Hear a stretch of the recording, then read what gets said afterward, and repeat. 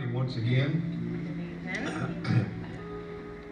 If we can bring the house lights up. No? No? I was just Okay. kidding. Why you gotta tell him no like that? Jeez. I've told people tonight, this is the kind of message that I really don't particularly like to bring. It's going to be very topical in nature. And uh, early in my ministry, when I would bring a message like this, I would always say, uh, if you get offended by something I say tonight, get offended with God, but don't shoot the messenger. And then it came to me how what a privilege and an honor it is to be a messenger. So if you see something in God's word tonight that makes you angry with him, and consequently makes you angry with me, I'm in good company. So we have a topic tonight. And the topic is, we talk about this a lot in uh, worship services. You hear it mentioned in a passing in a sermon. Somebody will say something about sin. but we really don't delve into it. We really don't deal with it. And I just felt like God was laying on my heart to really deal in this subject tonight. Calvin Coolidge was the 30th President of the United States. And I'm told that he was a man of few words, but also a man of faith.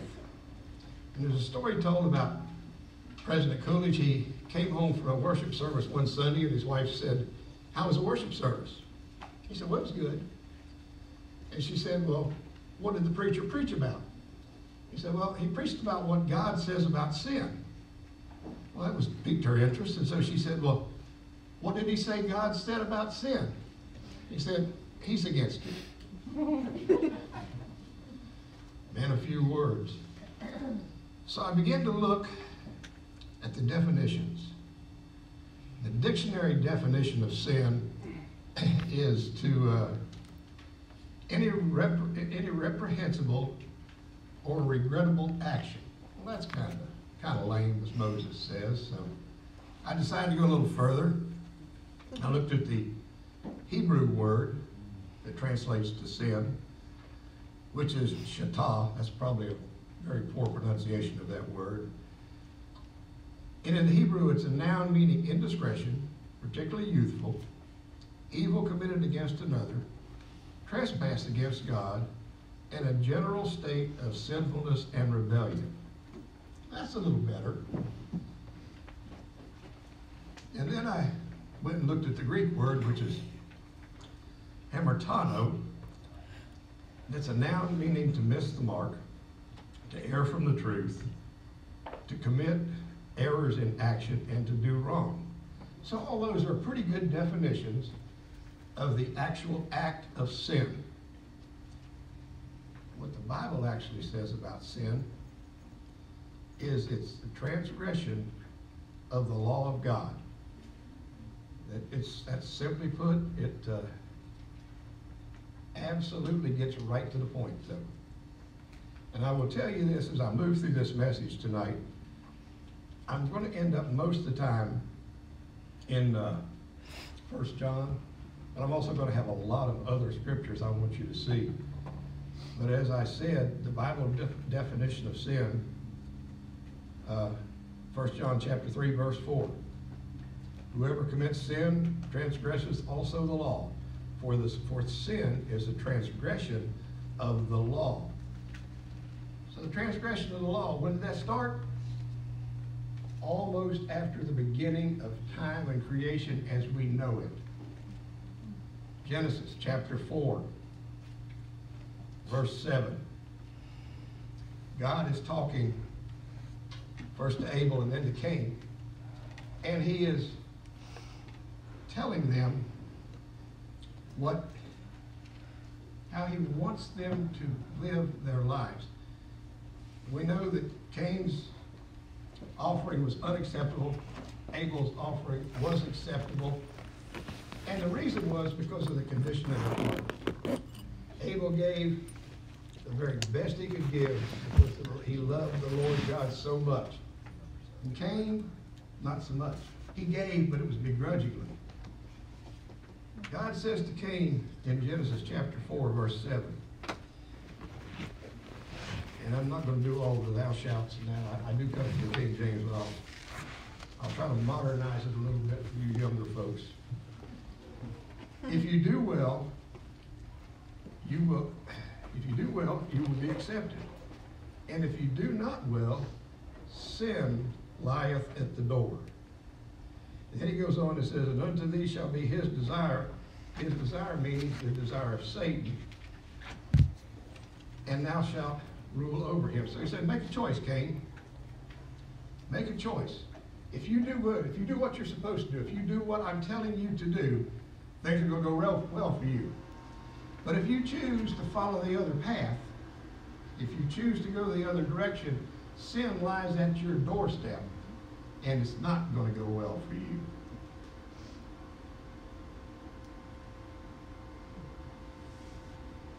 You know, we have to have to make those decisions in our life, and we are going to talk about making those decisions a lot tonight. So, before we go any further, let's pray. I ask that you pray for me because, uh, like I say, this is not my favorite topic by a long shot. So let's pray together, guys. Father God, thank you for tonight. Thank you, Lord, for your holy word.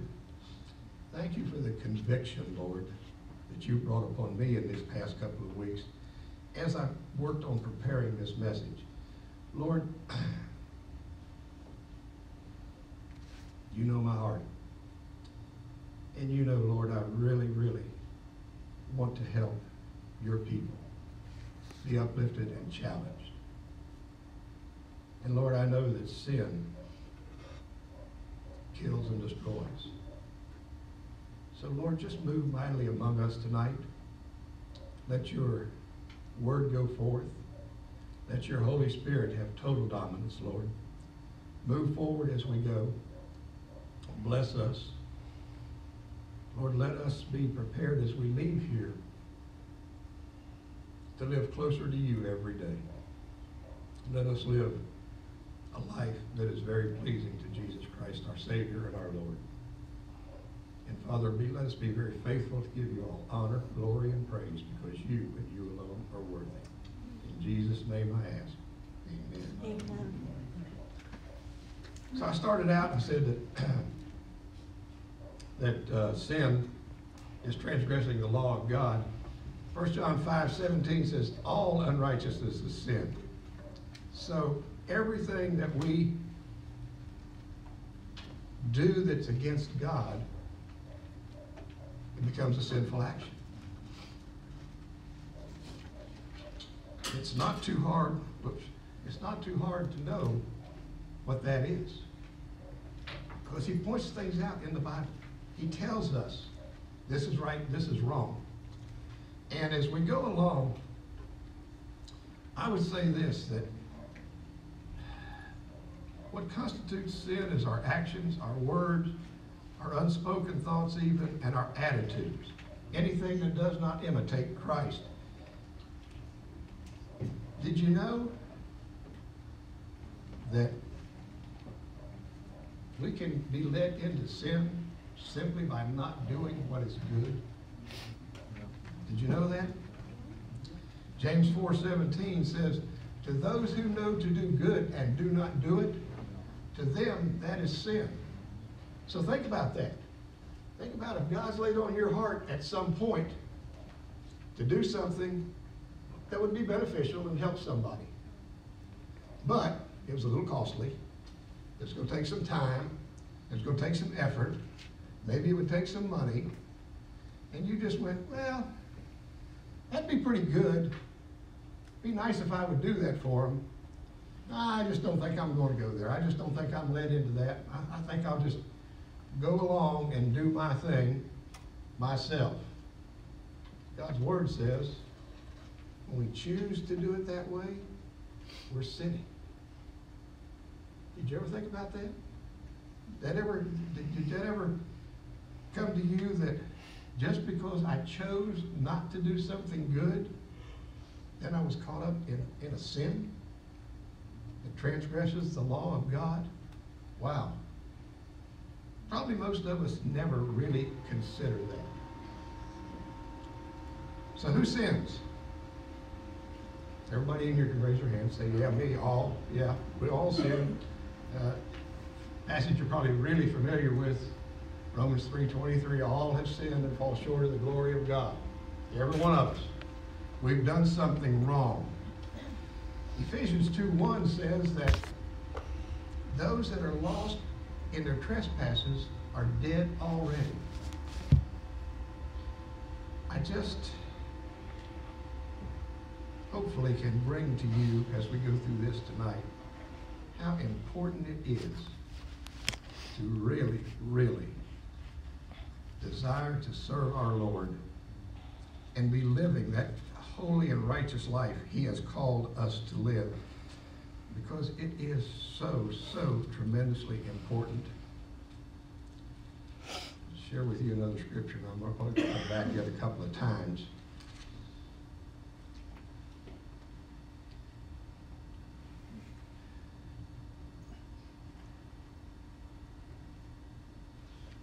Let me see, I think I want to do something different here. Let's look at a, at a, at a relatively lengthy scripture I want to share with you. Romans chapter 3, 9 through 18. What then? Are we better than they? Jesus here is talking about the Jews, as chosen people. No, in no wise. We have before proved both Jews and Gentiles, they are all under sin. As it is written, there is none righteous, no, not one. There is none that understandeth, there is none that seeketh after God. They are all gone out of the way. They are together become unprofitable. There is none that doeth good, no, not one. Their throat is an open sepulchre. With their tongues they have used deceit. The poison of asps is in their lips, whose mouth is full of cursing and bitterness. Their feet are swift to shed blood. Destruction or and misery are in their ways. And the way of peace they have not known.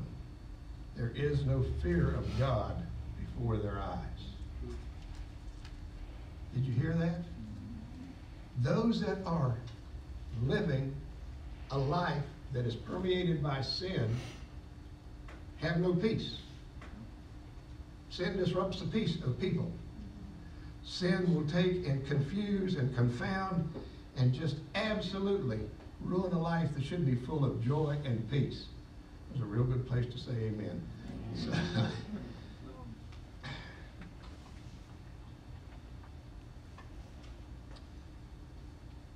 understand this too. Sin's a choice. Sin is a choice. We're going to deal with that considerably tonight because we make the choice to do whatever we, we decide looks good to us. And as we get involved in that kind of a situation,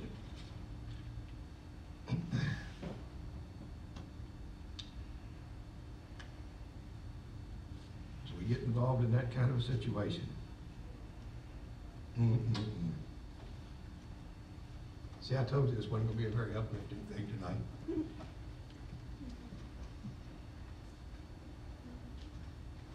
So let's say we've decided and we're doing something that's sinful. What are the consequences? What are the consequences of sin? We all know Romans 6.23, or probably we do, that uh, the wages of sin is death, but the gift of God is eternal life. We all want that, right? Mm-hmm. Well, you didn't sound very excited about that. Y'all, y'all must sound like that congregation that preacher was preaching one time and he was preaching about sin and he got to a point and he says, all of you want to go to heaven, stand up. Everybody stood up but one guy in the congregation. And the preacher walked down to him and he says, Sir, don't you want to go to heaven when you die? And he said, oh, certainly, I want to go to heaven when I die, but I thought you were getting up and loaded to go right now. That's the way it goes, guys. We kind of, we kind of dance around this. We don't really deal with it. Did you know that the Bible says in John chapter 8, verse 34, that when we sin, we become servants of sin? If you translate that out, it actually means in the Greek word that you appear in a humble and despised condition. Romans 6 16. Know ye not to whom you yield yourselves to obey? His servants you are whom you obey, whether of sin unto death or of obedience unto righteousness. I don't know about you, but I don't want to walk around I said years old. I was being kidding. trod down, stomped on, and living in a despised condition. Is that where you want to be? It's okay. I'm just kidding. I wouldn't think. I wouldn't think. I have never known anybody who come to me and says, I just hope I can get people to despise me more. I come to people a lot of times who say, I want to be loved more. How do we do that? We, we live in righteous. We live in righteousness. We strive to serve God in a righteous situation. So if we've been through all of this, we've talked about it, and we've pretty much, does everybody agree with me that a sinful state is not where we want to live? Right. Live? And if we are sure that the Bible is against sin, and as President Coolidge said, that God's against sin, and we have God's Word who tells us what sin is, then why do we do it? Why do we do it? Good question, right? Well, I believe, myself personally, it is pretty much tied up in one verse of the Bible. 1 John chapter 2, verse 16 says this. For all that is in the world, the lust of the flesh, the lust of the eyes, and the pride of life, is not of the Father, but is of the world. You realize that when Jesus was tempted, he was tempted in these three areas? Check it out. Matthew chapter 4 will tell you all about it. But even way before that, way before that, Genesis. We've had this sin problem for a long time, folks. Genesis chapter 3, verse 6. And when the woman saw that the tree was good for food, and that it was pleasant to the eyes, and the tree was desired to make one wise, that's the pride of life, she took of the fruit thereof and did eat, and gave it to her husband with her, and also her husband did eat with her. What did she see? She saw that it was good to look at. She saw that it was pleasing to taste. And she saw that she had the ability to begin to be like God. That's what she actually says. You know, so interesting. Marty says it all the time when we, I hear people talk about uh, this sin and, you know, well, Eve sinned and all that. And Marty says, yeah, uh, she might have offered it to Adam, but she didn't offer it as apple pie. And there's a lot of truth in that. Because if you go through that whole account there, we're good about passing the buck. You know that? Particularly when we're doing something wrong. Have you ever noticed when somebody gets caught up doing something wrong, it's not my fault because? Anybody know anybody like that? Not my fault. I didn't do it. Not my fault because when, when God had that conversation with Adam and Eve, first he went to Adam because see, Adam was given direct revelation. God said, You will not eat of this tree. Absolutely will not. God had direct revelation.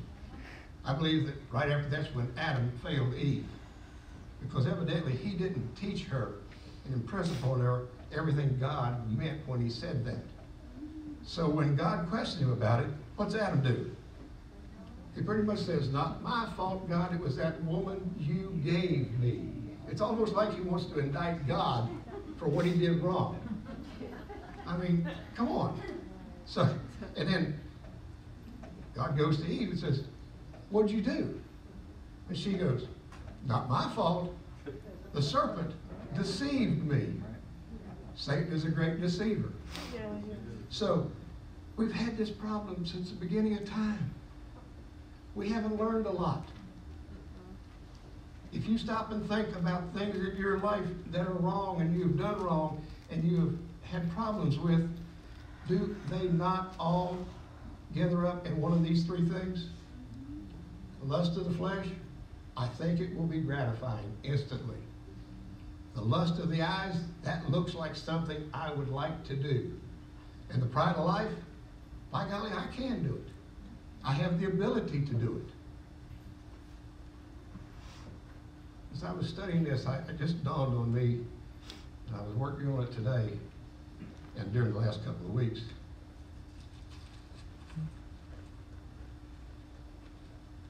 God begins dealing with this problem in His Word on this side of this group of pages. On this side of this group of pages, He's still dealing with the self same issue. How much did we learn from the beginning towards the end of the book? Not a lot, guys. Not a lot. We need to choose who we're going to obey. We need to choose today, for the rest of our lives, who we're going to obey.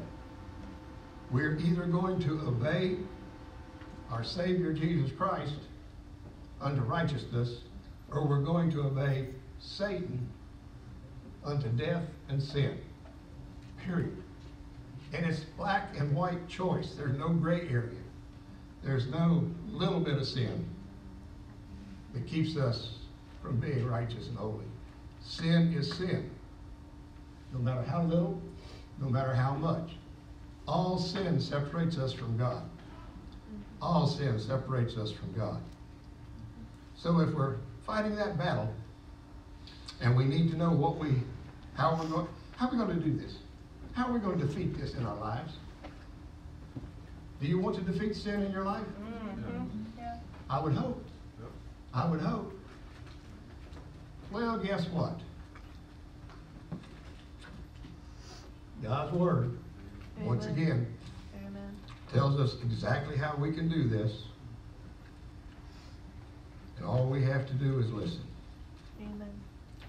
Romans chapter 12. It's going to be very familiar to a lot of you. Romans chapter 12, verse 2. And be not conformed to this world, but be transformed by the renewing of your mind, that you may prove that what is good and acceptable and the perfect will of God. So we need to renew our thoughts. We need to become spiritually minded. And that, that statement there about being the renewing of our mind says that we need to be qualitatively renovated so we become a different individual. Did you get that? Qualitatively renovated so we become a different individual. I have to deal with my thoughts. I have to take my thoughts captive. I have to deal with them every day. Because when I come to a point where in my flesh I would say, boy, this looks good to me, let me go this direction. I look at my mind and let and change it around and say, wait a minute, what's? God's word say about this issue that I'm fighting with? Mm-hmm. What's God's word tell me that I need to do? Hebrews chapter 12, verse 1. I love the way King James says it. Some of the other versions, I think, maybe water it down a little bit. But it talks about being compassed with such a great cloud of witnesses, and we need to lay aside the, the sin and the weights which so easily besets us.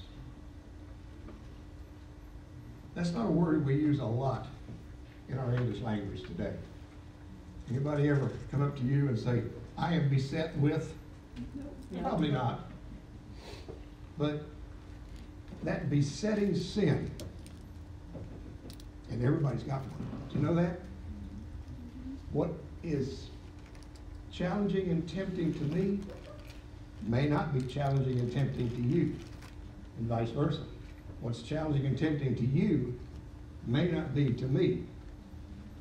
But we all have something that is tempting and challenging to us, correct?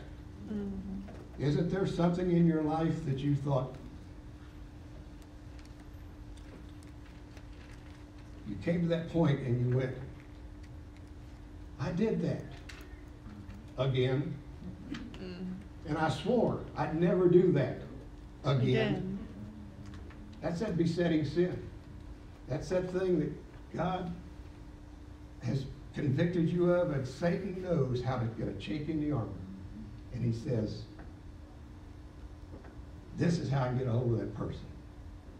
And we need to pray and we need to we need to just beseech God. God, whatever that thing is that's besetting me, whatever that thing is that's giving me a problem, deliver me from it. You know what? That's what is so important about Monday night prayer. Because as we come together corporately and we share with one another that we have problems, and I'm not going to tell you what sin besets me, just like I don't particularly tell you, you don't need to tell me what sin besets you. The fact is that we're all in the same boat. We've all got that problem. When we come together on Monday night as a group and we say, Lord, Lord, affect our lives. Lord, deal with whatever we're dealing with. Lord, you can change this. I don't have to live this way. Because God, you are able.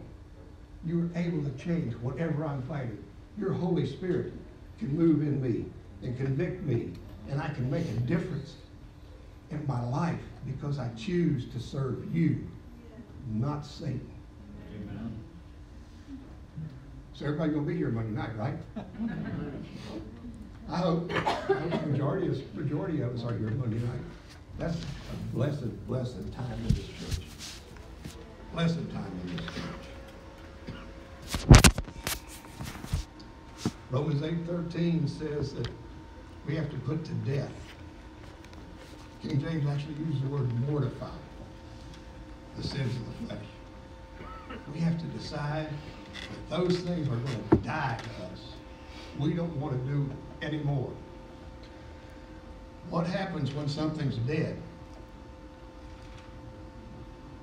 Nothing. It has no effect. It's absolutely gone. If we'll mortify those things, if we will bring them into a point of, this is dead to me, I'm not going to deal with this anymore. I want to turn this over to my, to, to my, my Savior, my deliverer. I am going to renew my mind. I'm going to have different thoughts. I'm going to do differently. So how are we going to accomplish this? How are we going to be delivered from sin? Glad you asked. Glad you asked, because the Bible's pretty specific again. Isn't the Bible wonderful? Yes, it is. Don't you love the Bible? Yes.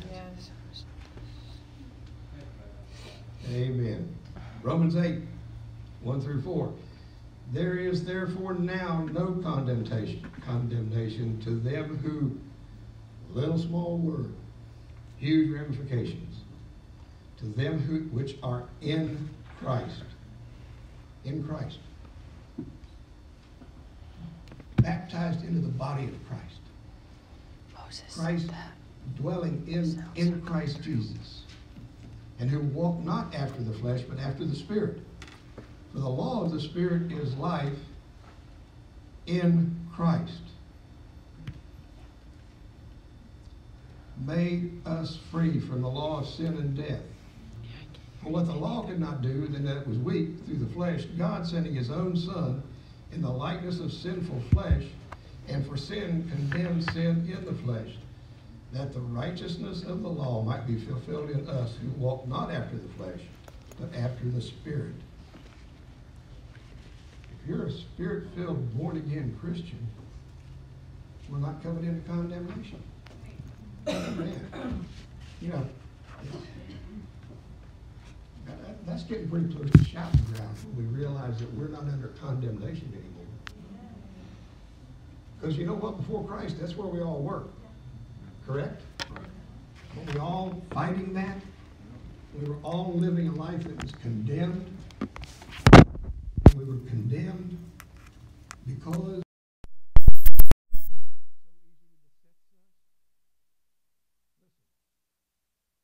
Second Corinthians five twelve tells us that it, Jesus became the embodiment of sin. He became sin itself on the cross so he could become the propitiation. It's a big word that simply means the complete acceptable sacrifice for what for, for sin. And God could accept Jesus Christ, perfect, sinless body on that cross as the embodiment of sin, as everything that sin, all the horrible things that sin brings into the earth, and delivered us from it. We ought to be terribly, terribly happy about that. Do you know it is to God's glory to forgive sin? Think about that. It glorifies God when He forgives the sin that we fight. Praise the Lord. Praise the Lord. Doesn't that make you happy? Well, as I kind of begin to get towards the bottom line here, and I've got a couple of questions. And these aren't trick questions, but uh, we're going to delve into them a little bit as I go further. First of all, I'd like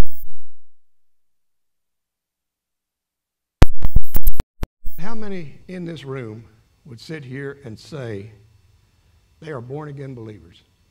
Jesus Christ is their Savior.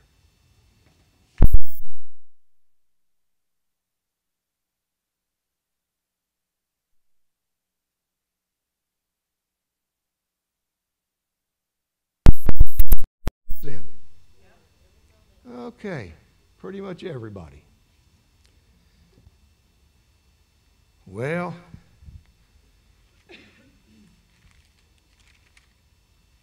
First John 1 7 says, But if we walk in the light as he is in the light, we have fellowship one with another, and the blood of Jesus Christ, his Son, cleanses us from all sin.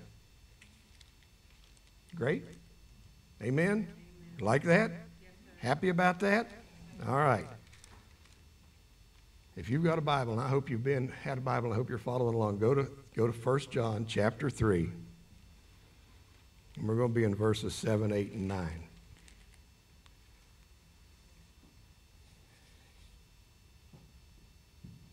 We've all said we're born again believers, vast majority of us.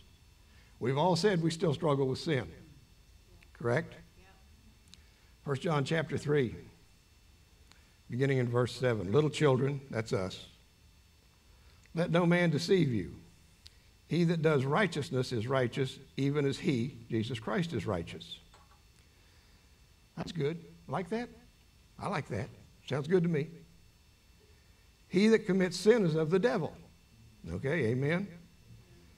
For the devil sins from the beginning. For this purpose, God was manifest that he might destroy the works of sin and the devil. That's, I like that a lot, don't you? Hmm? Jesus Christ was manifest to destroy the works of sin and the devil. Then we get to chapter verse 9. Whoever is born of God, would that not be us who, is, who are redeemed in Jesus Christ? Whoever is born of God does not commit sin, for his sin remains in him, and he cannot sin because he is born of God. In this, the children of God are manifest, and the children of the devil. Whosoever does not righteousness is not of God, neither he that hates his brother. What are we going to do about this? We've all just confessed that we're Christians. We've all just confessed that we're believers. We've all just confessed that we deal with sin, and God's Word has just said in 1 John 1, or 1 John uh, chapter 3, verse 9, if you're born of God, you cannot sin. Hmm. Actually, the translation should be a little different. And the, the New Living more alludes to the translation of the Greek because the Greek better translation be the one who practices sin cannot sin. That's interesting. The one who practices sin. That, that simply means that a believer cannot sin habitually, deliberately, easily, and maliciously. So you cannot, I cannot, none of us can continue to live in a life that is sinful, that we know is sinful, that we know is against the Word of God, and be truly righteous in Jesus Christ. You with me? Hurts, doesn't it? Hurts, doesn't it? Because we all deal with something. We all deal with something. So, the fact is this when you became born again, when you became a saved human being, the Holy Spirit indwelt you. And when I and you and any of us who are in Christ are going down the wrong path, the Holy Spirit is going to convict us. And conviction's not fun, guys. Did you know that? But He's going to come and say, wait a minute. Wait a minute. This is against what your Savior is telling you to do. And He's even going to come against it strong enough to we're going to say, I can't do that anymore. I can't go down that road anymore and honor my Savior. Wow. Why do people pray so diligently for other people for deliverance? Because they want to come from that point that is binding and sinful, and where they make the choice to say, I'm not going to obey the Bible, I'm not going to obey Jesus Christ, but I'm going to go a different way.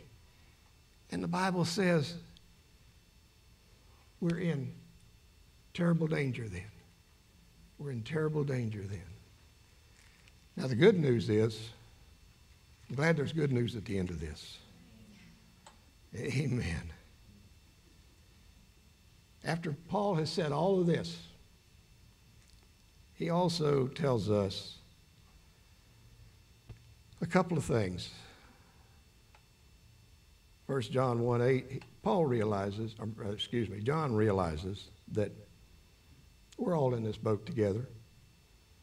And so in John, 1 John 1 8, he says, if we say we know have we if we say that we have no sin, we deceive ourselves and the truth is not in us.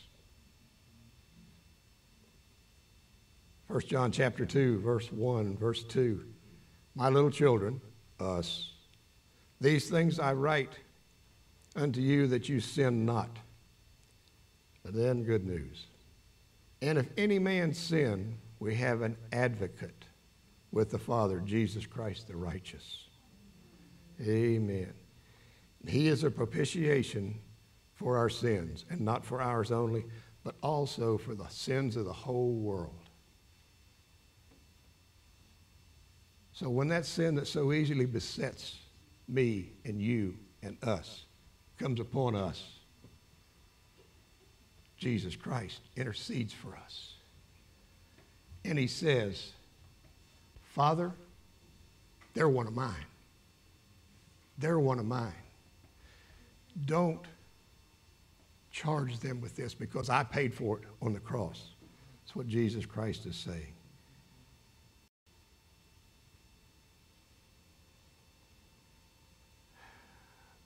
First John 1 9. Boy, this gets beat up a lot. If we confess our sins, he is faithful and just to forgive us our sins and to cleanse us from all unrighteousness. So, what do you do when sin is coming laying at the doorstep? What do you do with it? Gosh, has anybody been listening? What do you do with that sin when it's laying at your doorstep? You confess it. Amen. You come and say, Father, I have sinned. I have done something wrong, and it's laying at my doorstep, and it's eating me up, and it's killing me. And God the Father says, It's all right. Jesus Christ paid for your sins. And because you confess them, and all we're doing when we confess sin to God is we're, we are agreeing with the Father that what He says is right and what we did is wrong. That's all we're doing. You know what's so interesting to me? Does He add anything to confession? Hmm? If you confess your sins and make sure you ask for forgiveness and make sure you go to church and make sure that you read your Bible every day and make sure you do this and that and the other and blah, blah, blah. What does he say?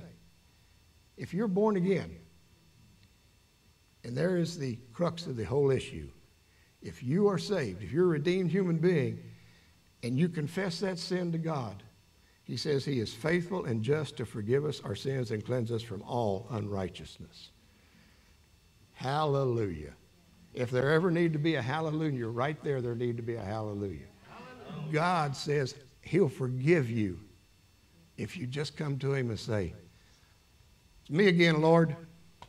I blew it. And really, that's all, that's as simple as it needs to be. It's me again, Lord. I blew it. But understand this there is a difference between where we are positionally and operationally.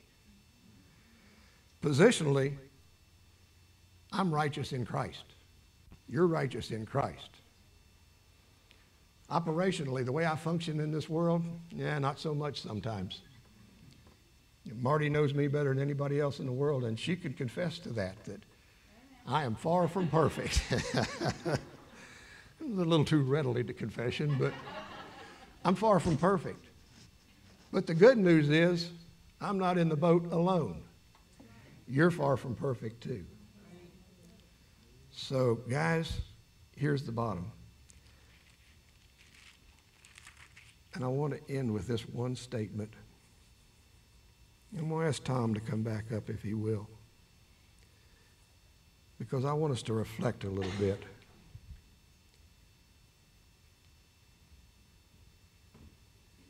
I want to, I want to end in this verse in 1 John chapter 3 and verse 10. In this, the children of God, who are the children of God? We are, amen. And the children of the devil, those that are unsaved, whoever does not righteousness is not a God. All the way down to the bottom. I hope that's Jesus calling. the very last few words of 1 John 3:10. And to me, this is how we're going to prove this type of a message, how we get past sin. Neither is he that loveth not his brother. We need to fall in love with each other. We need to fall deeper in love with Jesus Christ. And we need to fall in love with each other tonight. We need to decide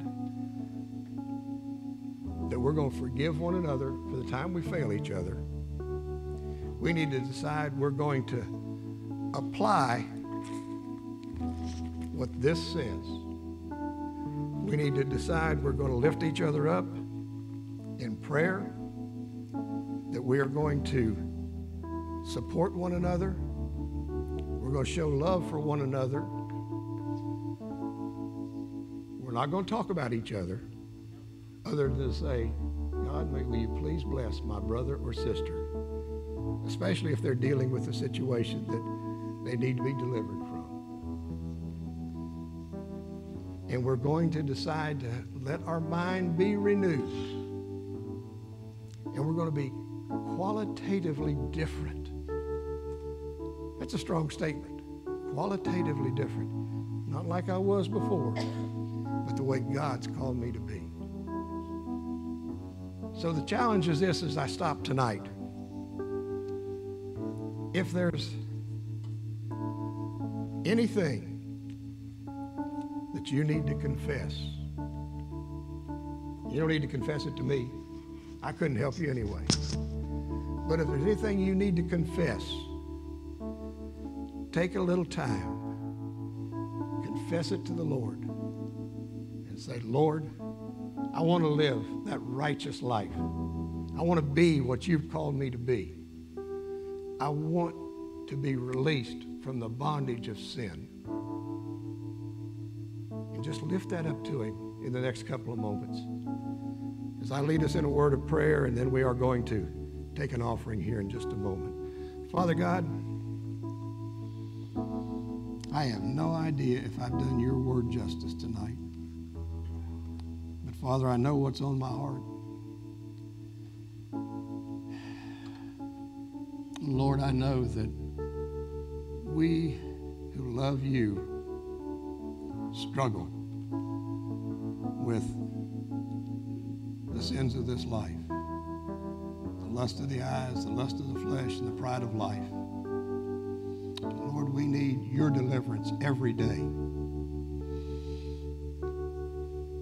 Lord, I've preached this message to a group of believers, to people who profess to love you, profess to know you, and profess to have obtained the salvation that can only come through you by the cross of Jesus Christ. So, Lord, if we're struggling, we can only imagine how those outside of Christ are struggling. Lord, let us be very faithful in lifting up and glorifying Jesus, in being that people who want to deal with sin when it lies at the doorstep. We want to confess it immediately. Want to be delivered from it, Lord. And we want to live holy and righteous lives as much as we possibly can. That you would be honored and you would be glorified, and people would see that. And they would want what you have given to us. And they would want to come to you. And Lord, people would fall in love with you all over this world. Lord, I pray you would use this message to maybe uplift some, to maybe challenge others. I pray it's been a blessing, Lord. The time we've spent together, it's definitely been a blessing to me. And I pray you, these your people, Lord, will walk out of here tonight choosing to be totally in love with you and one another. Lord, that you might take us to greater heights together. Lord, as we just quietly come before your throne for a few moments, I'm going to ask that if anyone needs to come up, they feel free to do so. You don't have to move at all. You can stay in your seat. But I do pray that for the next few moments, that you would, if there's anything that any of us needs to confess and bring before our Savior, we would do that. And we would pray for that deliverance. And Lord, if anyone needs to, I'm sure that Carlos and Alicia are right here. They can come and be close. So if you need, Lord, for any of us to move, we will be at the front. And Lord, we will pray with anyone that comes. Lord, let your Holy Spirit have dominance. Lord, let nobody out of embarrassment or fear not come tonight confessing that they need your forgiveness and your cleansingness, your cleansing, and your move to righteousness.